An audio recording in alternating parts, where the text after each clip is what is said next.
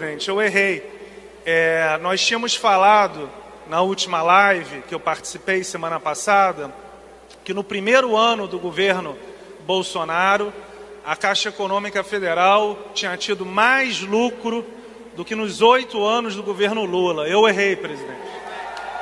Não foi só isso.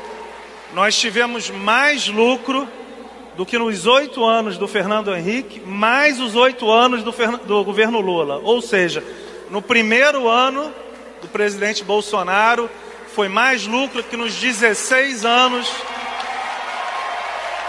E eu vou falar uma coisa: é, é, é, é muito difícil eu fazer uma, é, uma promessa, mas eu acho, presidente, que nos quatro anos do seu governo, a Caixa vai ter mais lucro do que nos 158 anos anteriores.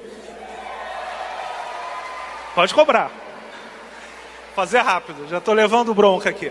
É, o que acontece é o seguinte: a Caixa nunca reduziu tantos juros, nunca focou tanto nas pessoas mais humildes, e é a primeira vez em dois anos e meio que eu tenho, eu trago papel aqui, mas é porque realmente a gente tem algumas coisas muito importantes. A primeira é, a Caixa, antes dessa gestão, gastava centenas de milhões de reais patrocinando o clube de futebol.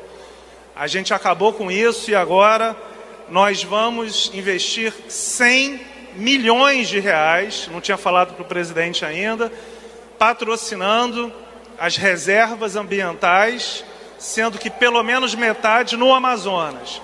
Então, nós vamos, presidente, patrocinar 20 parques.